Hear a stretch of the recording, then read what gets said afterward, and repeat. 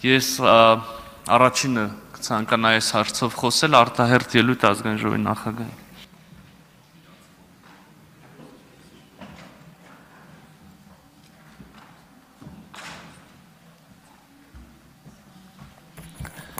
Արգելի գործընկերներ, ռազմական դրության հանելու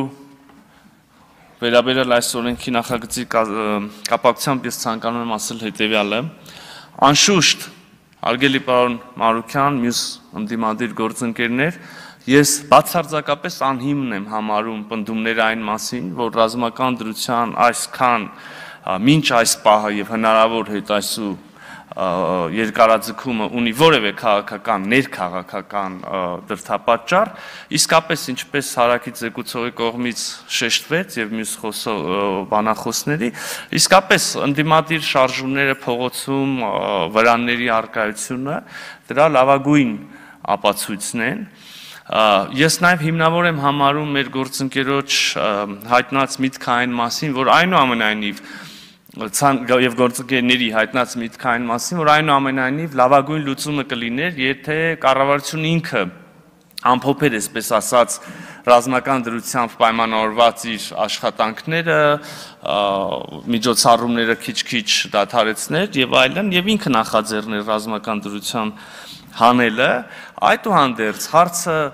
եւ բոլորս ակնհայտորեն ընդունում ենք, որ հայտարարված են արտերտ խորհրդանական ընտրություններ եւ մոտ ապագայում, առաջիկայում, չգիտեմ, օրերի 7 օրից, 5 օրից, 10 օրից այնպես թե, այսպես թե այնպես կառավարությունը ինքը պիտի կամ կառավարող մեծամասնությունը ինքը պիտի նախաձեռներ այս գործընթացը եւ ռազմական դրությունը պետք է դուրս գա։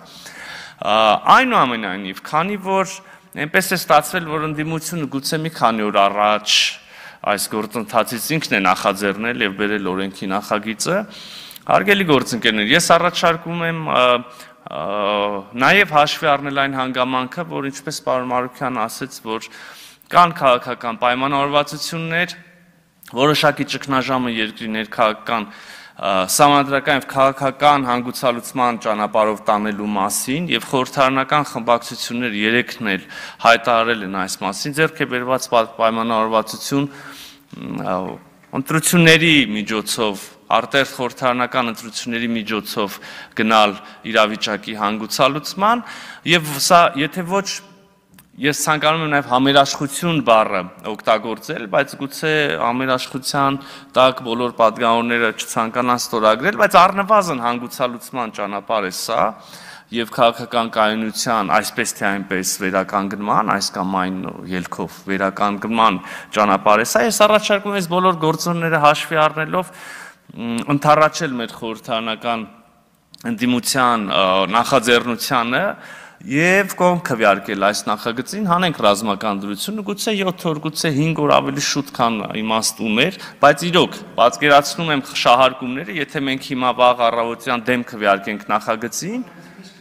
ներողություն խոսեմ եւ կարծում եմ որ իսկապես կլինեն շահարկումներ եթե մենք հիմա վաղ առավոտյան նախագծին դեմ քվեարկենք 5 օր հետո ինքներս այս գործընթացը նախաձեռնենք կամ կառավարությունն ինքը հանի կրկին